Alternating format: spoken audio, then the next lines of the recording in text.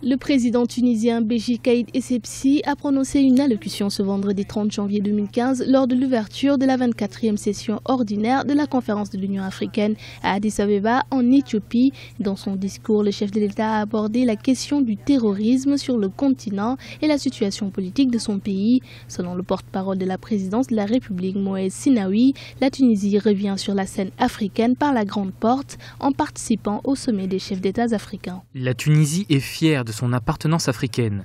Elle est déterminée à reprendre sa place, restaurer son prestige et l'éclat de ses liens historiques avec les pays du continent politiquement, économiquement culturellement. Le chef de l'État a également souligné l'importance de la concertation entre les pays africains dans le traitement de la crise libyenne. Cette rencontre a porté sur le terrorisme auquel la Tunisie et l'Égypte sont confrontés, ainsi que la question libyenne. La sécurité de la Libye n'est pas seulement la sécurité de la Tunisie, elle est aussi celle de toute la région. La guerre nous a unis dans le passé dans notre lutte contre le colonialisme, elle nous unit aujourd'hui plus que jamais dans la lutte contre le terrorisme.